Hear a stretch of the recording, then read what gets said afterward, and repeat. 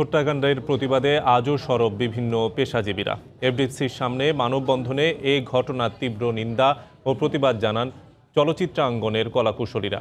এদিকে বঙ্গভবন থেকে গণভবন পর্যন্ত বিভিন্ন পয়েন্টে অবস্থান নিয়ে প্রতিবাদ জানায় সিপিবি। অন্যায়ের বিরুদ্ধে লড়াই ও প্রতিবাদের ক্ষেত্রে নুসরাতের সাহসিকতা দৃষ্টান্ত হয়ে থাকবে বলেও মন্তব্য করেন তারা।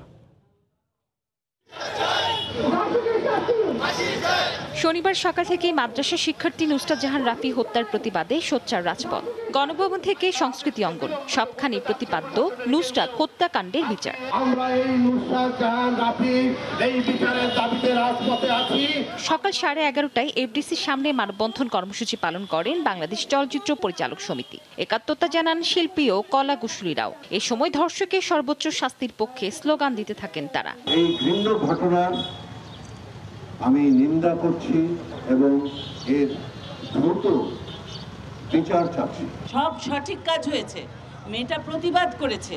তারপরেও সে যখন পরীক্ষা দিতে গেছে সেখানে কারা কিছু ছেলে বা কিছু মেয়ে বোরখা পরিহিত তাদের ওর গায়ে আগুন লাগিয়ে দিয়েছে।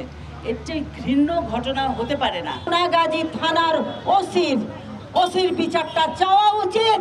কারণ এই ওসির জন্যই আজকে নুসরাতের জীবনটা গিয়েছে। আমাদের যতক্ষণ নিঃশ্বাস আছে আমরা তোমার এই জঘন্য হত্যাকাণ্ডের প্রতিবাদ জানাব।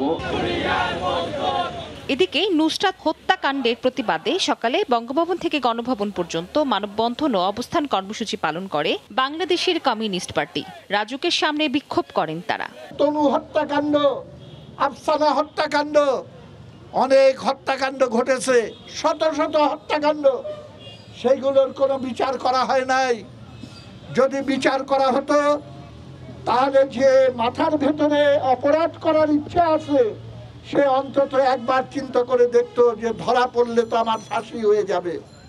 কিন্তু সে জানে যে সরকার আর সরকারি দলের সঙ্গে লাইন আপ করলে আমার গা কেউ স্পর্শ করতে পারবে না। দ্রুততম সময়ের মধ্যে হত্যাকাণ্ডে জড়িতদের বিচারের আওতায় এনে দৃষ্টান্তমূলক শাস্তি না দিলে আবারও রাজপথে নামার হুঁশিয়ারি দেন বিভিন্ন গণসংগঠনের নেতারা। মৌসুমিমো সময় সংবাদ, ঢাকা।